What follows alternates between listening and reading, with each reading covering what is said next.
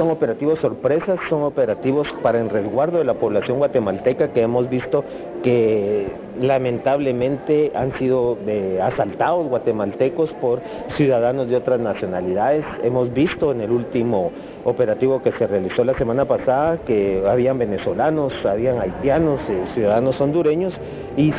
lo que procede es ver su situación migratoria. Si su, su situación migratoria no es regular,